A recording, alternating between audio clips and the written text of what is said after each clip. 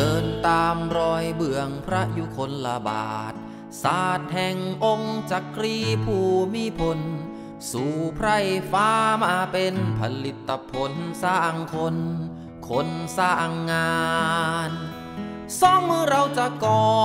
หัวใจเราจะเกี่ยว ประสานกลมเกลียวศาสตร์พระราชา แผ่นดินทองพืชผลนานากสิกรรมรักฟ้ารักดิน พี่ตุ่มสวัสดีครับผม สวัสดีค่ะพี่เปียกครับพี่ตุ่มแนะนำพื้นที่นิดหน่อย พื้นที่อันนี้ทั้งหมด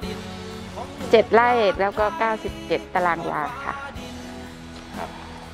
เป็นที่นาล้วนๆเก่าเป็นที่นาเดิมเป็นที่นาพอหน้าแล้งก็จะแล้ง บางที บางทีน้ำไม่พอข้างบนก็จะปลูกกล้วย เอ้ยไม่ใช่ปลูกอ้อย ปลูกอ้อย แล้วก็แบ่งส่วนอีกโซนหนึ่งมาทำนาประมาณนั้นค่ะครับค่ะแล้วที่มาที่ไปที่ได้มาปรับเปลี่ยนผืนนาแห่งนี้มันเกิดจากอะไรดู YouTube มาอะไรขนาดไหนก็ก่อนเกษียณนะคะ มีโอกาสได้ดู YouTube ของพี่เปียกอะค่ะครับถึงสื่อถึงคนแล้วก็สามอาชีพเพื่อมนุษยชาติครับก็เลยมีแรงบันดาลใจอยากจะทำเพราะคิดว่าแล้วหลังเกษียณถ้าไม่ทำอะไรเลยเนี่ยมันก็น่าเบื่อคงจะน่าเบื่อค่ะครับ ก็เลยเออก็ได้ไปเรียนรู้จากอ่าศูนย์อ่าพิพิธภัณฑ์เกษตรที่ปทุมครับศึกษาใน YouTube ดูอ่ารายการคนบ้าปลูกต้นไม้ของพี่หนึ่งค่ะก็ได้แรงบันดาลใจจากตรงนั้นก็มาทำค่ะ อาชีพเดิมคืออะไรนะก็เป็นพยาบาลวิชาชีพอยู่ที่โรงพยาบาลบางบัวทอง ค่ะ จังหวัดนนทบุรีค่ะ ระหว่างทำงานก็ดู YouTube ไปเรื่อยๆอย่างนี้แหละค่ะก็มีโอกาสได้มีโอกาสก็ดู YouTube พอดูแล้วมันอ่ามันมีความสุขดีมันแฮปปี้มันอยากจะทำเห็นคนปลูกเขามีความสุขเออเราก็ชอบทางนี้อยู่แล้ว อืมปกติจะชอบต้นไม้ชอบน้ำอะไรประมาณเนี้ยค่ะ มันดูดูมีชีวิตชีวาครับก็เลยอยากจะมาสร้างแถวนาให้ให้มันเป็นแบบนั้นบ้างอะไรประมาณเนี้ยค่ะ แต่มาลงมือทำนี่คือเกษียณเสร็จเรียบร้อยถึงมาทำ เกษียณเสร็จถึงได้มาทำแต่ว่าก่อนก่อนเกษียณเราก็เตรียมเพาะต้นไม้ เพราะตอนนั้นเราไม่รู้ว่าเราจะไปซื้อราคาถูกๆได้ตรงไหน ค่ะ เพราะว่าถ้ามาปลูกเยอะซื้อซื้อเยอะๆคงไม่พอไม่ไหวอะไรประมาณเนี้ยครับก็เลยไปหาเก็บเม็ดพันธุ์ต้นไม้ไปหาขอบ้าง ตามกรมป่าไม้ครับขอศูนย์เพ่อพันธุ์กล้าไม้อะไรพวกเนี้ยค่ะ มาเพาะเองเพาะเพาะเองตั้งแต่สิงหาหกสองก่อนเกษียณเพาะเสร็จพฤศจิกา เราก็ลงมาไอ้ตุลาสิคะ ตุลาลงมาครับลงมาเตรียมจะมาหาขุดบ่อขุดอะไร พอพฤศจิกา พอบ้านไม่สบายก็เลยต้องกลับไปดูแล ก็ทางนี้ก็ให้น้องสาวค่ะ ช่วยช่วยดู ช่วยช่วยทำต่อค่ะมาปรับพื้นที่ก็เดือนปีไหน ปรับพื้นที่ก็ มีนาค่ะ ประมาณ 14 มีนาถึงเมษาปีหกสามปี 63สามอันนี้ก็ปีกว่าแล้วนะปีคปีรึ่งกว่าค่ะอ่า ปีปีครึ่งกว่าแล้วอ่ครับผมค่ะ แล้วลงลงมือปลูกจริงๆนะก็ 26 มิถุนาแล้วก็ปลูกมาเรื่อยๆ ค่ะ อะพูดถึงการออกแบบพื้นที่การเปลี่ยนพื้นที่ตรงนี้พี่ตุ่มได้อะแนวคิดได้เครือข่ายทางไหนมาช่วยกัน อ่า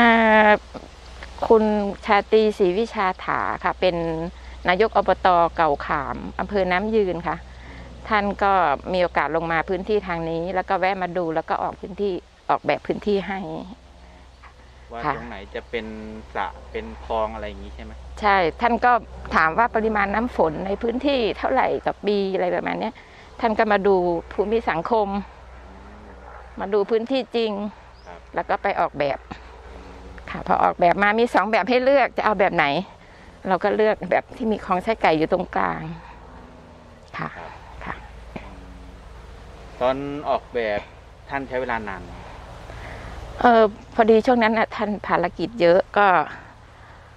น่าจะประมาณสองสามเดือนนะคะ ถึงถึงได้แบบมา โอ้ถึงส่งแบบมาว่าเป็นใช่อย่างนี้ค่ะ เพราะว่าท่านน่ะต้องมาช่วยให้ความรู้ทางด้านอบต ในเรื่องทำธนาคารน้ำใต้ดิน อบตหลาย ๆ อบตในในทั่วประเทศอะแถวเห็นท่านบอกครับค่ะนั้นแปลงพี่ตุ่มก็เลยได้ธนาคารน้ำไปในตัวด้วย ได้ค่ะโอ้เขาได้ต้นตำรับเก่าขามนี่ถือว่าเขาทำอยู่แล้วเนาะค่ะ เดี๋ยวพี่เด็กพี่ตุ่มพาไปดูดูด้วยเนาะคุยกันไปด้วยค่ะ แนะนำเอ่อพื้นที่เลยครับ ตรงไหนเป็นนาเป็นสระทำไมตรงนี้เป็นยังไงอะพี่ตุ่มอ๋อตอนแรกนะคะ เราก็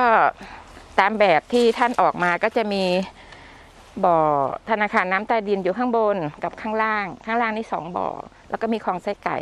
ข้างบนข้างล่างเนี่ยไม่ถึงที่พี่มันสโลปเป็นมันสโลปค่ะเอียงประมาณ 15-20 องศานี่แหละ ก็จะมีบ่อบนล่าง มีบ่อบนมีบ่อล่าง ความลึกของบ่อ ความลึกเนี่ยเจ็ดเมตรค่ะ แต่จริง ๆ แล้วเนี่ย ขุดขุดจริง ๆ ได้แค่ประมาณหกเมตร เพราะว่าแมคโครลงไม่ถึง ไปดูบ่อบนกันก่อน ไปดูบ่อบนก็ได้ค่ะ ที่มันไม่ลงไม่ลึกเพราะไม่ไม่โครงงวงมันแค่ได้แค่นั้น ใช่ค่ะแมคโครงวงแค่นั้น ข้างบนนี่ไม่เจอตาน้ำนะคะ เพราะว่าแล้วก็มันเป็นหินหินลูกรังกับดินเหนียว แล้วมีกี่ berm มีกี่ตะพักบ่อบ่อตรงกลางไม่มี berm เลย ไม่มีตะพักเลยค่ะ ดีแค่ว่ามันเป็นเป็นหินกับดินเหนียวมันก็เลยไม่ไม่สไลด์แต่ว่าไอ้บ่อบ่อตกตะกอนเนี่ยมี berm มี berm อยู่ค่ะ มี berm berm หนึ่งอันนี้คือด้านบนของพื้นที่ ค่ะ ค่ะ อันนี้จะสูงที่สุดของแปลงอันนี้สูงค่ะสูง ก็จะโลบลงไป อ๋อครับ ตรงตรงนี้ถือว่าเป็นบ่อยังฮะหรือตรงนี้เหรอคะอ่าฮะอ่าตรงนี้อ่าเป็นบ่อตกตะกอนค่ะ ตกตะกอนบ่อตกตะกอนอันนี้ลึก ลึกสี่เมตรตามแบบ ลึกสี่เมตรตามแบบโอ้บัวสวยงามเลยนะค่ะบัวสายกินได้บัวสายกินได้ค่ะอ๋อบ่อตกตะกอนบ่อตกตะกอนอธิบายได้ไหมบ่อตกตะกอนบ่อตกตะกอนก็คือเหมือนประมาณว่าถ้าสมมุติว่าเรามีขุดบ่อนั้นน่ะบ่อธนาคารน้ำใต้ดินอะ มันถ้าเกิดมันลึกลงไป มันอาจจะถึงแบบว่ามันอาจจะ ถ้าเราใช้สารเคมงเคมีในพื้นที่เรา มันอาจจะซึมลงไปในนู้นครับถ้าเราไม่ทำบ่อดักตะกอนไอ้บ่อดักตะกอนเอาไว้ ก็ป้องกันพวกสารเคมีอะไรเนี่ยอาจจะซึมไปปนเปื้อนน้ำใต้ดินอะไรประมาณเนี้ยค่ะ อันนี้ก็ปล่อยปลาบึกไว้สามตัว แต่ไม่เคยเห็นโผล่มาสักที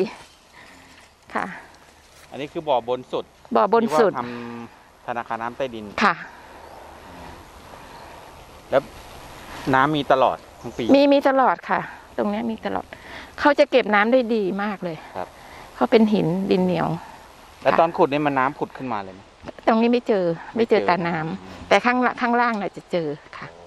อันนี้มีทางน้ำเข้าไหมไม่มีค่ะพี่หนึ่งเลยต้องต่อนี่อ๋อต้องต่อน้ำบาดาลเข้าไปตรงนี้ ต่อแล้วมีบ่อบาดาลด้วยเจาะบาดาลแล้ว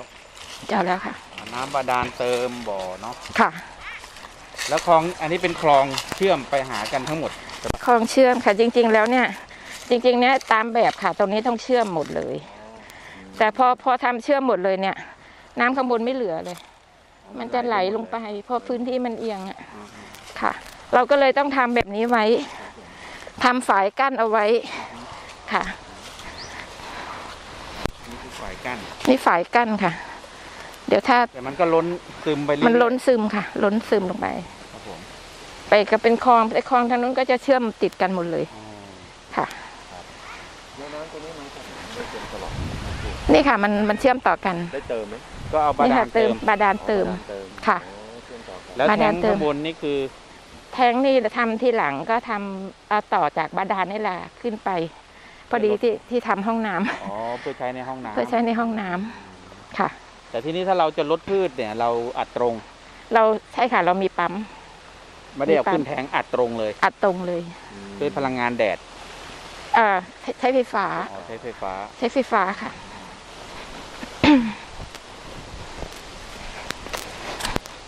อันนี้ก็พ่อแม่เขาปลูกไว้ก่อน แล้วก็อนุรักษ์ไว้หมด อันนี้บัวนี่เราโยนโยนลงไปเขาก็เกิดนะคะ โยนเง่าหรือโยนอะไร โยนเง่าลงไปเลยค่ะ โยนหัวมันลงไปครับ เออแล้วเขาก็เกิดเขาขึ้นมาพี่ตุ่มไปได้เง่ามาจากไหน เง่าก็ไปเอาตอนนั้นที่ที่ลำไปมาดอะครับเห็นน้องบอกว่าเขาเขาลอกหนองอืมเขาก็เก็บเง่า เก็บเง่าอะไรขึ้นมาแล้วก็เอามาโยนโยนอันนี้ไม่ได้ซื้อแล้วตอนขุดพวกเนี้ย มันมีดินสไลด์ดินพังลงมาบ้างไหมข้างบนนี่ไม่พังแต่ข้างล่างพัง ตรงเนี้ยเจอหินค่ะ เจอหินลูกลังกับดินเหนียว ดินเหนียวเลยไม่พัง ค่ะ เลยไม่พัง แล้วข้างล่าง ข้างล่างพัง เป็นดินทราย น่าจะเป็นดินทรายล้วนๆค่ะ คือหลังขุดเสร็จนี่พี่พี่ทำอะไร ปลูกแฝกไหมปลูกอะไรเลยไหมอ่า ตอนนั้นแฝกยังไม่ปลูกค่ะ ตรงตรงพอขุดเสร็จเนี่ย อ่า เราไปหาแฝกได้เนี่ยหลังจากที่ อ่า หลังจากที่เราปลูกผลไม้ปลูกอะไรไปแล้ว ปลูกหน้าแล้ง พอปลูกปลูกเสร็จเนี่ย มันก็เหลือบ้างไม่เหลือบ้างหน้าแล้ง ยังไม่มีน้ำลดค่ะตอนนั้นอ๋อยังแล้วพอฝนมาก็ไปตามตลิ่ง แล้วคราวนี้ก็ปี ปีนี้แหละค่ะ ก็ปลูกใหม่ครับไปได้มาจากอะไรนะซ่อมบ้างใช่ค่ะอืมไปได้มาจากบุรีรัมย์อะค่ะ ก็ซื้อเข้ามามาปลูกครับค่ะ แล้วทั้งสวนนี่มีปั๊มตัวเดียวหรือ อันนี้มีปั๊มสองตัวค่ะ มีตรงนี้กับตรงกลางสวน เพราะเราแบ่งเป็นอันนี้เป็นโซนบน ตอนแรกเราปลูก เฉพาะต้นไม้ยืนต้นเราก็เอาปั๊มนี้ก่อน เพราะว่าเราไม่ได้ดูแลเองเนาะครับก็เลยทำให้น้องเผื่อน้องสาวลดลดไม่ทัน อันนี้ปลูกแบบหวังผลจริง ๆ เลยเนาะใช่ใช่ระบบน้ำเต็มที่ โอ้โห แล้วปลูกเสร็จแล้วก็อยากจะให้เขารอดทุกต้นนะคะนี่นี่ก็เป็นป่าเลยฮะเนี่ยอันนี้เป็นป่าแบบว่า ตอนนั้นเรามีมีต้นไม้เองใช่ไหมคะเพ่อเอง เราก็เลยเอาเต็มที่เลยอืมแล้วก็เลือกเฉพาะต้นงามๆนะคะมาปลูกตรงเนี้ยอืมแต่ปรากฏว่าแบบเราทำพื้นที่แบบเหมือนยกคันสูงครับแล้วก็ปลูกตามร่องหวังจะให้น้ำคือปลูกหน้าแล้งอืม หวังจะให้น้ำเขาแบบลดแล้วอยู่ ปรากฏว่าพอเจอฝนน้ำท่วมร่องเลยค่ะ เพราะตรงนี้มันเป็นดินหินเหนียว แล้วมันไม่ระบายแล้วสโลปก็ไม่มาทางนี้ด้วย มันขัง มันขัง มันก็เลยเป็นเป็นแบบนี้เลยค่ะต้นไม้เลยจ้ะเนี่ยทานหน่อยค่ะ เนี่ย จริงๆแล้วเลือกไม้พันธุ์ที่แบบงามที่สุดมาลง เนี่ย เป็นบทเรียนเลย แต่ต้นไม้เขาก็ทนเนาะโทนโทนน้ำขังเขาก็ไม่ไม่ค่ะ ไม่ตายง่ายอืมอันนี้ต้นหลุมพอเออหลุมพอที่เป็นต้นไม้ทางใต้อะเราไปขอไปขอจากกรมป่าไม้มาครับผมค่ะ เขาบอกจะลองมาปลูกดูไหมทางเราเออก็ดีลองมาดูนั้นจุดตรงที่แทงน้ำอยู่เนี่ยคือเป็นจุดสูงสุดของพื้นที่เนาะใช่ค่ะ เป็นสูงสุดแล้วก็ไม่มีต้นไม้แล้วตรงนั้น เราก็เลยเลือกเอาตรงนั้น นั้นพี่ตุ่มทำบาดาลลงสระตรงเนี้ย น้ำจากคลองน้อยเนี่ยมันก็ไหลลงไปถึงข้างล่างได้หมดค่ะ มันจะมีฝายกั้นเชื่อมไปได้หมดเลยค่ะ ตรงตรงนี้ตอนแรกเนี่ยเขาทำระดับเดียวกันนะพื้นระดับเดียวกันหมดเลย ตอนนี้น้ำมันก็จะไม่ขังพี่ตุ่มก็เลยให้เขาทำลึกลงไปอีกตรงนั้นนะคะตรงระหว่างระหว่างสะพานเนี่ยจะลึกที่สุดเลย เป็นกักน้ำไว้ให้มันลึกที่สุด อืมค่ะ มันมีน้ำวนแล้วจากนาเจ็ดไร่เหลือนาจริง ๆ มีมีพื้นที่ทำนาไหมเหลือนาด้วยไหมอ่าตอนแรกนี่เหลือประมาณสักสามไร่ แต่ตอนปีนี้ค่ะเพิ่งมาปรับ อาจจะเหลือสักสองงานนะคะ ตรงนู้น อ๋อปีนี้ได้ข้าวประมาณไม่ถึงเก้าถุง เกี่ยวมือ แต่ก็เน้นทำกิน เน้นทำกินค่ะ เพราะว่า กินไม่เยอะ แต่บางคนเขาบอกว่านะขุดอย่างนี้มันเสียที่นาหมดเลยนะอืม อ่าจริง ๆ เราไม่ได้ทำนาก็จริงอะแต่เราได้ทำอย่างอื่นเนาะเราได้ปลูกต้นไม้แล้วก็มีพืชอย่างอื่นครับอืมค่ะเหมือนเหมือนเป็นรีสอร์ทส่วนตัวนะเข้ามาแล้วก็แบบ happy มากค่ะ เหมือนเป็นรีสอร์ทของเรานั่นแหละใช่ใช่มีความสุขแบบบอกไม่ถูกเลยเออก็มันปลูกได้หลายขึ้นเนาะเมื่อก่อนเป็นนา พอมาทำแบบนี้ปุ๊บพี่ปลูกอะไรบ้างล่ะ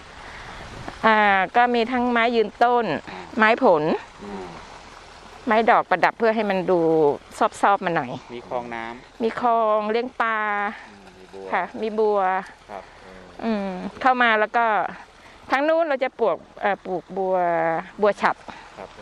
บัวฉับตอนแรกปลูกเพื่อให้มันดูซอบๆอืมพอตอนหลังมาเออขายได้เวลาวันพระ แต่ช่วงล้วจากจากผืนนาเดิมๆ ล้นๆ แรงๆ พอมาเป็นอย่างนี้พี่ว่ามันต่างกันมากไหมต่างกันมากเลย เพราะว่าเข้ามามันรู้สึก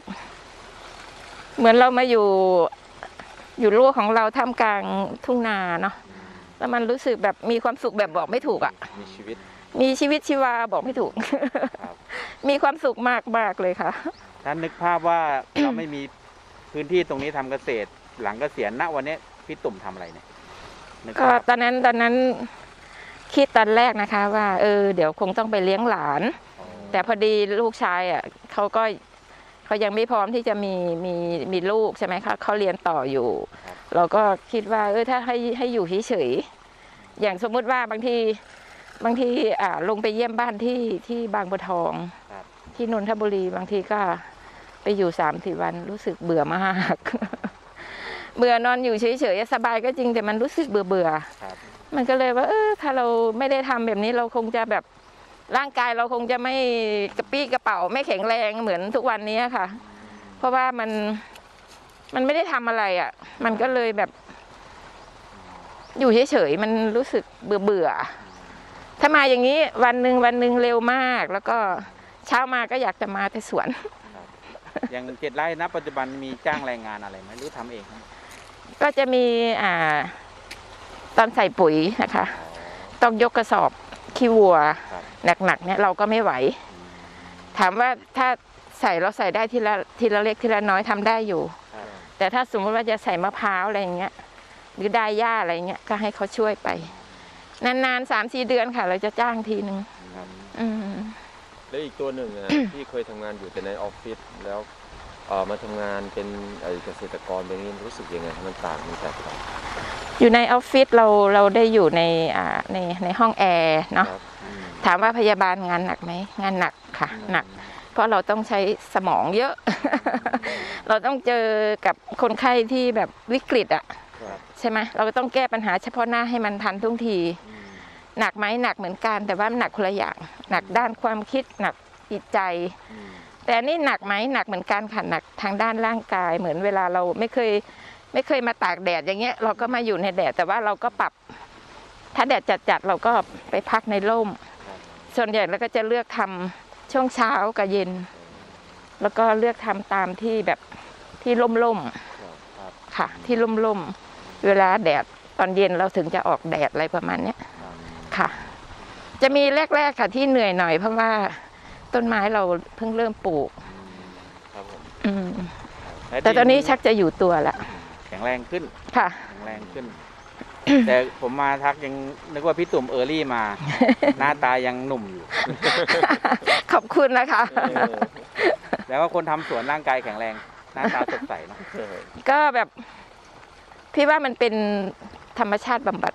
อย่างดีเลยนะ ครับ อืมเพราะว่า เวลามาในเนี้ยคือมันลืมทุกอย่างแล้วเราก็ happy อะมีความสุขจริง ๆ อะ อืมพี่ตุ่มไปดูข้างล่างบ้างอันนี้ดูดูสระข้างบนละค่ะดูแปลงข้างล่างบ้างเนาะเป็นข้างล่าง ตรงนี้เราตรงทางนี้เราก็ปลูกต้นไม้นี่อ้อมโซนนี้เป็นต้นไม้อ้อมเป็นนู่น ต้นไม้หมดเลย ข้างบนที่รอบๆแทงนี่จะเป็นไม้ป่าเป็นไม้ป่าไม้ยืนต้นตรงนี้ด้วยแล้วก็ไปถึงนู่นเลยค่ะ อ๋อเราก็คือเหมือนคิดว่าถ้าเกิดมีคนมาเยี่ยมหรือเรามา เข้ามาในแปลงเราก็เดินในร่มมาครับเดินในร่มมา ตรงกลางนี่ก็เป็นไม้ป่า ตรงนี้ก็เป็นสวนพุทราพี่เปียกจะไปดูตรงนี้ไหมอันอันเนี้นี้ยไม่เคยอบรมที่ไหนเลยใช่ไหมไม่มีเวลาไป ไม่มีไม่มีเวลาไปอบรมที่ไหน แต่ว่าเคยไป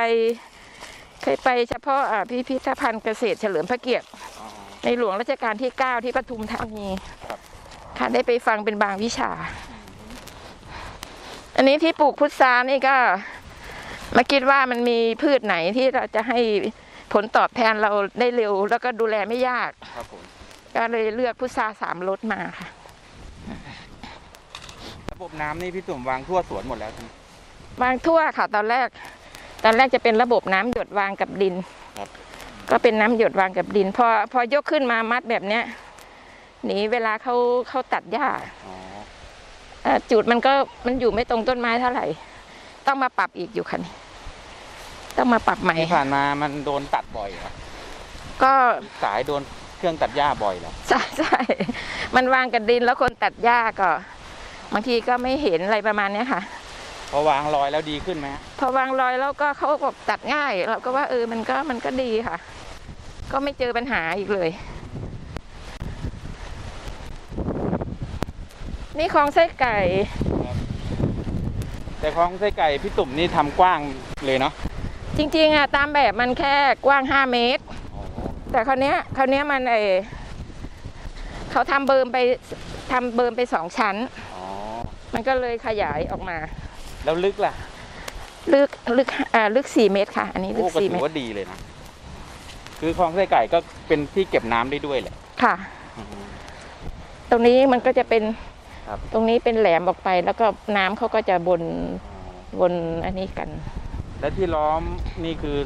น้ำข้างล่าง ที่บอกค่ะเป็นเป็นธนาคารน้ำใต้ดิน และที่ล้อมรั้วเพื่ออะไร ล้อมรั้วเราก็กลัวเวลา เวลาเราไปทำงานหรือว่าคนไปทำงานพัดตกลงไป กันไว้ก่อนครับ ค่ะ เป็นสัญลักษณ์ด้วยใช่ค่ะเพราะนี่ธนาคารน้ำใต้ดิน ค่ะ อันนี้บ่อบัว แล้ว ที่ผ่านมาปีหนึ่งที่ผ่านมานี่น้ำมีอย่างนี้ตลอดเลย เอ่อตั้งแต่เราเติมได้เต็มอือฮะเต็มนะคะครับ ก็จะมีมีลดลงบ้างช่วงหน้าแล้งลดแต่ก็ลดไม่เยอะค่ะลดแต่พักแต่พักถัดไปอะก็ยังมีน้ำอยู่ลดไม่เยอะ แต่ว่าเราก็มีที่ที่เหมือนเติมน้ำอะเราติดบ่อน้ำธรรมชาติ เราก็เติมได้ อันนี้เป็นต้นสักปลูกเลี้ยงไป ตั้งใจจะให้เป็นอุโมงค์ต้นไม้เหมือนกันค่ะ อันนี้ก็เป็นธนาคารน้ำใต้ดินสองบ่อ อันนี้อ๋อสองบ่อนี้ขุดก็เจอตาน้ำตรงนี้ค่ะจะมีสไลด์มีดินสไลด์อ๋อเราปลูกแฝกบางทีลงไปในน้ำเลยค่ะแสดงว่าพื้นที่ดินทรายหน่อยใช่ค่ะ ตรงนี้เมื่อก่อนมันจะเป็นเป็นบ่อบ่อเก่าอะๆครับ บ่อเก่าแล้วน้องก็มาถม น้องสาวเขามาถม ถมเสร็จก็ไม่กี่ปีก็มาขุด มันก็เลยดินมันก็เลยเป็นดินหลวม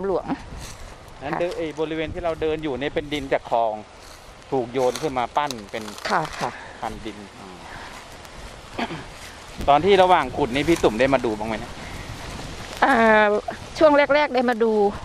ก็ตกลงกับคนขุดว่าให้เอาหน้าดินน่ะมากองไว้ให้เราส่วนหนึ่งก่อน แล้วก็เวลา ปรับพื้นที่เสร็จก็เอาหน้าดินมาไว้ข้างบนครับเขาก็น่าจะทำได้ระดับหนึ่งอะค่ะ ค่ะ แยกหน้าดิน แยกหน้าดินอ่า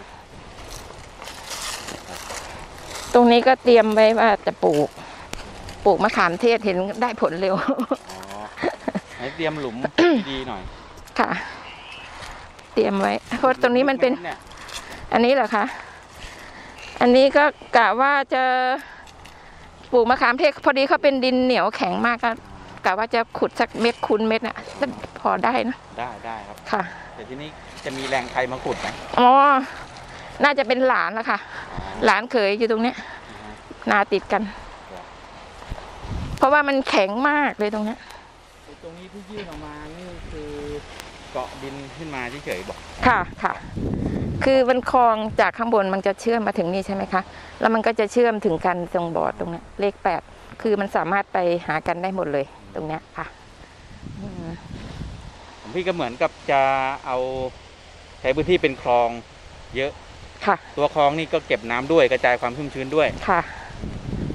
คือผมไม่ค่อยเห็นคลองที่คนอื่นทำใหญ่ขนาดนี้อืมคือจะบอกว่ามันดีค่ะ คือทำกว้างและลึกอะ มันเก็บน้ำได้ด้วยอืมแล้วมันกระจายความชุ่มชื้นได้ดี ค่ะ มันไม่ระเหยง่าย ค่ะ ถ้าเป็นคลองเล็กๆ คลองน้อยๆ แล้วไม่ลึกมาก มันก็ระเหยไว ใช่ใช่ใช่ แล้วที่ได้ประโยชน์เลี้ยงปลาด้วย เลี้ยงปลาค่ะ ปลาเยอะเลย แล้วก็พอเราทำอ่าน้ำบาดาลข้างบนน่ะน้ำมันไหลไหลทุกวันเนาะ กลางวันไหลทุกวันครับเราไปสังเกตเห็น เราวันนั้นเราซื้อ อ่า ซื้อปลาทับทิมมาครับ ได้สามเดือนเฮ้ยทำไมลูกปลาทับทิมเต็มเลย แสดงว่าเขาออกไข่เหรอคะเห็นน้ำตก เป็นไปได้นะแล้วพืชล่ะ พี่ตุ่มวางแผนยังไง ว่าตรงนี้จะปลูกไม้ผลตรงไหนปลูกไม้ป่าอะไรอย่างเงี้ยก็วางแผนตอนแรกนะคะ เราวางแผนว่าอ่าเราจะทำถนนเนี่ย รอบรอบที่นาเลยครับ อาจจะให้รถวิ่งผ่านได้เลย พอมาขุดจริงๆน่ะ ข้างบนน่ะ พื้นที่จำกัดติดต้นไม้ใหญ่ใช่ไหมครับ ก็เลยตรงนั้นรถรถใหญ่ผ่านไม่ได้ก็เป็นตรงตรงเนี้ยสองข้างนี้เป็นถนนครับกะว่าจะให้มีอ่าป่าไม้ ใครเดินเข้ามาก็ให้มันล่มลื่นค่ะ ให้มันล่มลื่นก็ทำปลูกไปสองข้าง แต่คราวนี้ต้นสักเนี่ย พอมาดูเสร็จเนี่ย พอหน้าแล้งเนี่ยเข้าใบร่วงเนาะเออก็ก็กะว่าจะซื้อมะฮอกกานี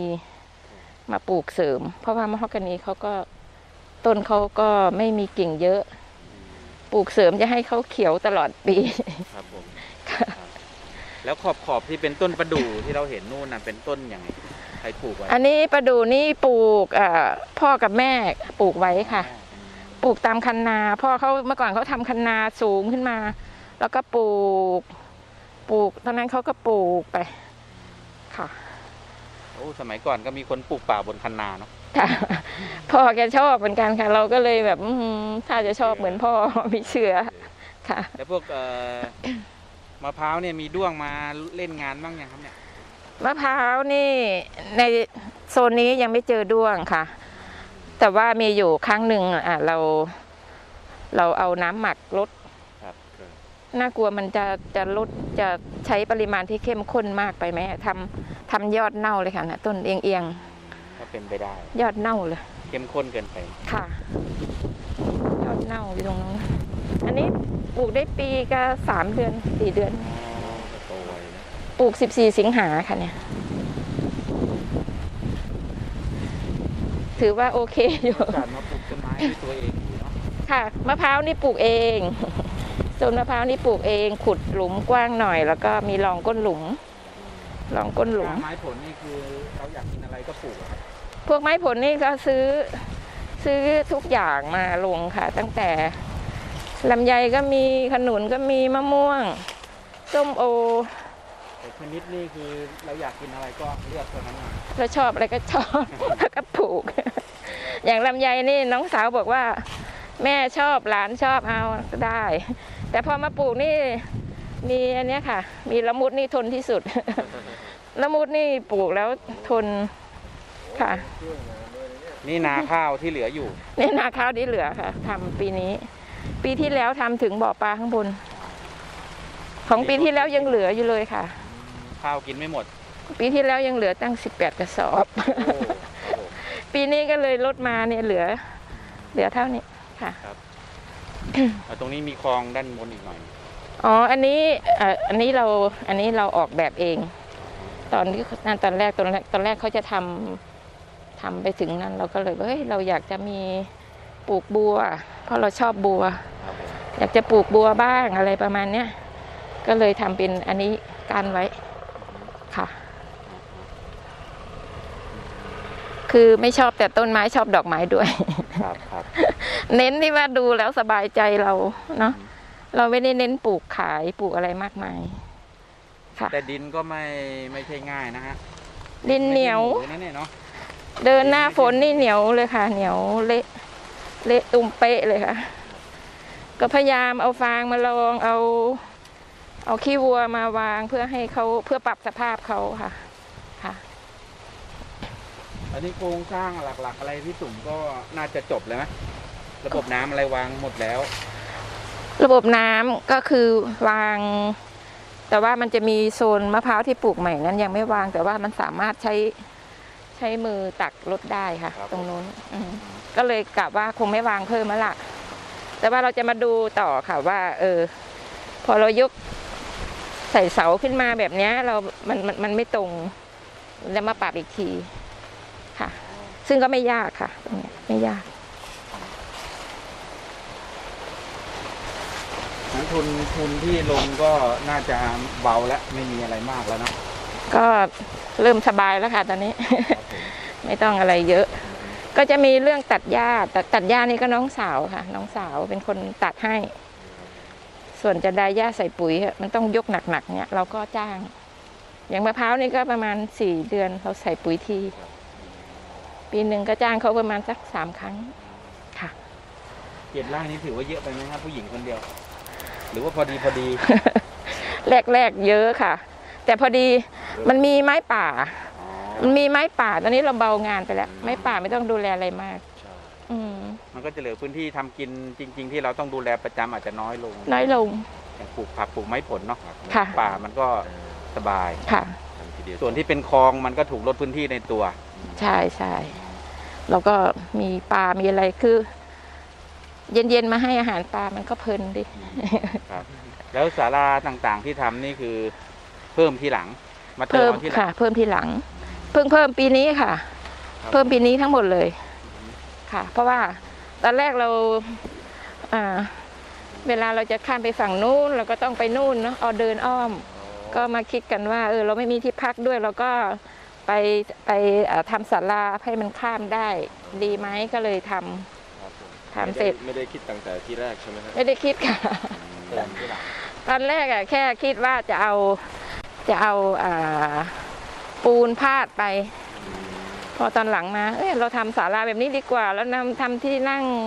กลางน้ำก็ดูจะสบายดีนะอะไรประมาณเนี้ยก็เลยอะโอเค ทำเสร็จก็ทำหลังคาด้วยดีไหม ค่ะ อันนี้สิ่งที่พี่ตุ่มได้ประโยชน์จากที่ดินแปลงนี้คืออะไรบ้าง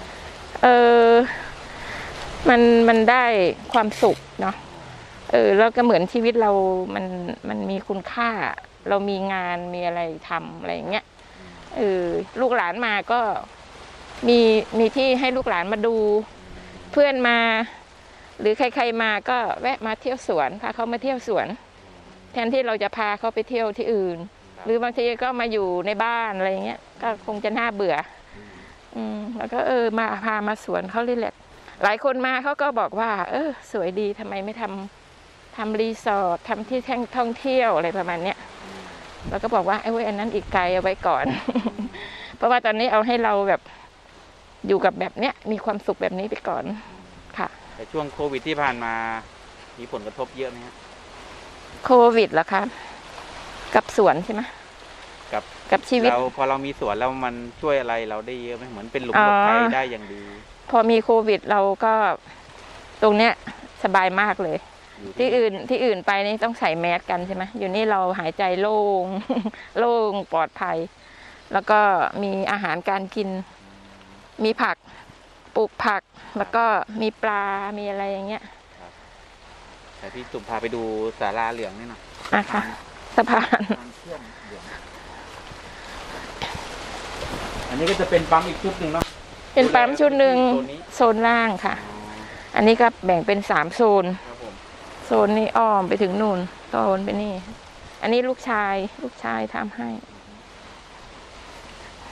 ตอนแรกแล้วว่าจะฝังแต่ว่าแบบ อืม ทำลอยๆไว้เผื่ออยากเชื่อมตรงไหนอีกค่ะ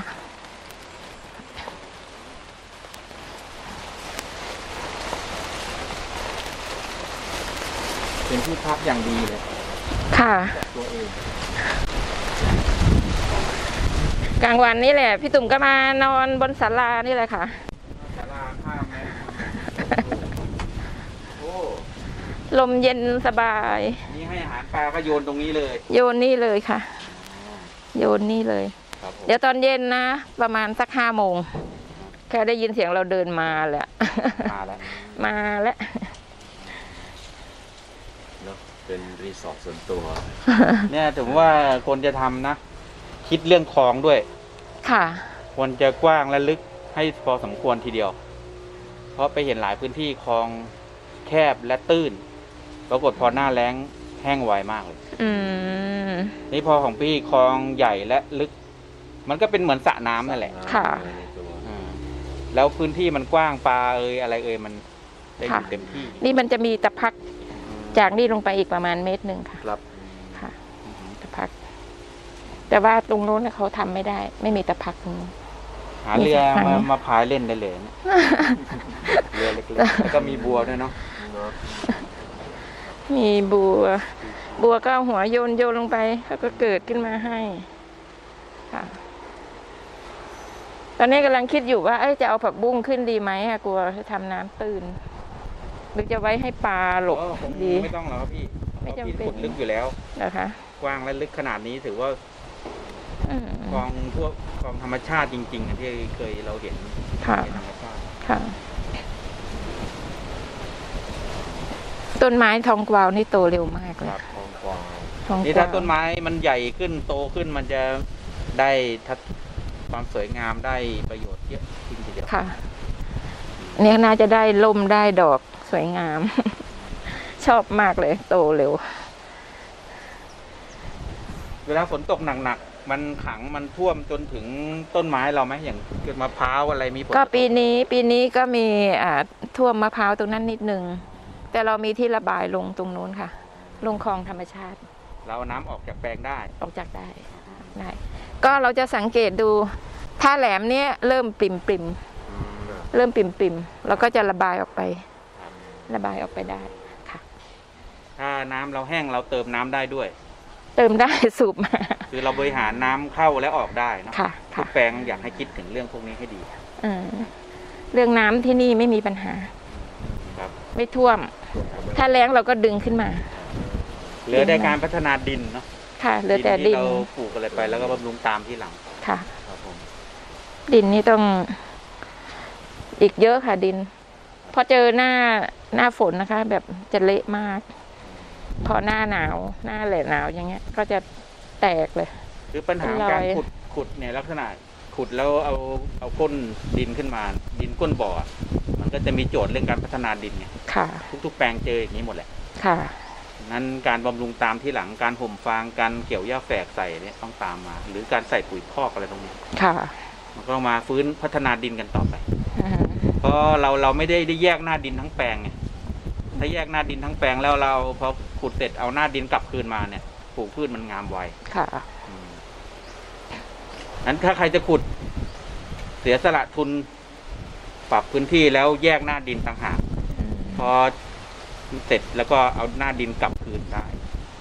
มันมีบางแปลงที่เขาทำได้ ค่ะ มันก็ไม่ต้องมาพัฒนาหน้ามันไม่ต้องพัฒนาดินทีหลังไงอืมคือยอมทำตั้งทีแรก แยกหน้าดิน มันก็อยู่ที่ว่ามีทุนด้วยนะค่ะเราไปเจอหลาย ๆ แปลงที่ดินก้นสระแล้วปลูกอะไรก็ยากเลยอะอืม ก็ต้องมาพัฒนากันต่อ พัฒนาทีหลังนี่ยากมากเลยนะคะ ผมว่ามันก็ยากนะอืมไปไปเจอแปลงที่เขาแยกหน้าดินนะผมว่าต้นไม้เขาดีมากเลย ไปเลยไปโลดเลยครับใช่ไหมคะอืมแต่นี่เอาก็ใช้พี่เวลาตุ่มยังไงมีแล้วก็มาให้กำลังใจกันเนาะขอบคุณมากค่ะ พี่ตุ่มอยากจะฝากกำลังใจให้กับ เนี่ยพ่อแม่พี่น้องที่เขาอยากมาใช้ชีวิตแบบเนี้ยหลังเกษียณแบบพี่ตุ่มยังไงบ้างอ๋อ มันเป็นอะไรที่แบบเป็นธรรมชาติบำบัดดีมากนะคะ ในการปลูกป่า ในการทำแบบทำปลูกป่าปลูกต้นไม้ปลูกอะไรอย่างเงี้ยครับเออมันแบบพอมาแล้วมันทำให้จิตใจเราแบบมีความสุขอะ่ะ ก็อยากจะเชิญเชิญทุกท่านนะคะมีที่เล็กๆน้อยๆเราก็ปลูกตามตามสภาพของเรา เพิ่มพื้นที่ป่าให้ให้ประเทศด้วย มีแล้วมันรู้สึกอุดมสมบูรณ์หัวใจมันก็ชุ่มชื้นค่ะขอบคุณครับพี่ตุ่มค่ะ สวัสดีค่ะ ขอบคุณมากนะคะสองมือเราจะก่อ หัวใจเราจะเกี่ยว ประสานกลมเกลียวศาสตร์พระราชา แผ่นดินทองพืชผลนานากสิกรรมรักฟ้ารักดิน เพื่อฟ้าดิน อันสดใสเพื่ื่อฟ้าดินไร้พิษปลอดภัย เพื่อฟ้าดินของลูกหลานไทย เพื่อฟ้าดิน ของคนไทย